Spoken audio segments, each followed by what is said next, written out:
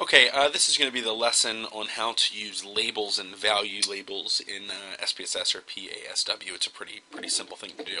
Uh, so let's assume we have input our data um, from um, some paper and pencil study that we've done, and we've labeled uh, these things: uh, participant ID, sex, reconnection condition, reconnection and aggression.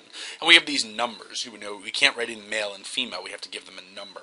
Uh, but when we do our analyses, we don't necessarily want to say there are 10 ones and, and, and 8 twos. We'd really like to say that there are 10 men and 8 women, or that there are, you know, 9 people in the rejection condition and 9 people in the inclusion condition, rather than saying there are 9 negative ones and 9 positive ones.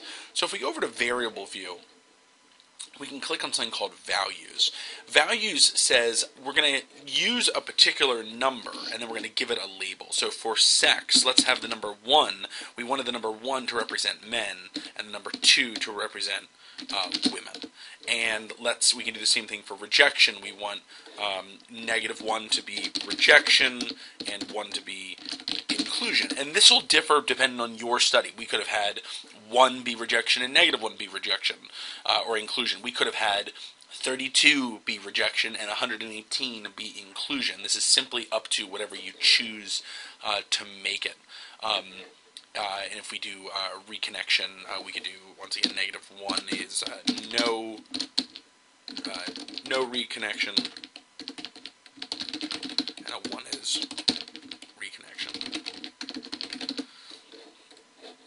Now, if we run, let's say, a frequency distribution now on sex, it's going to say that we have, once it comes up, um, it's going to say that we have nine men and nine women.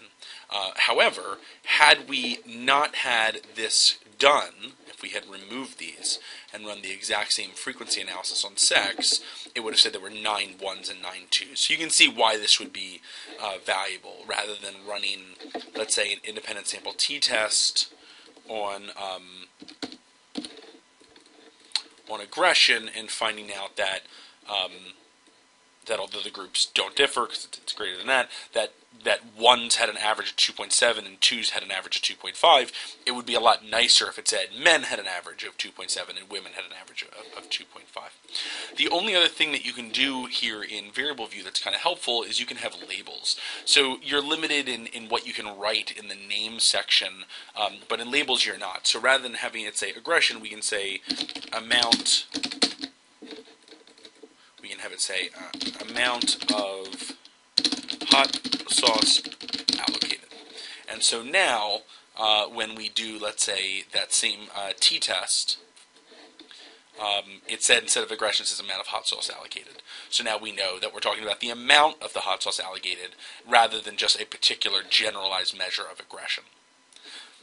This is basically uh, the lecture on uh, values and labels.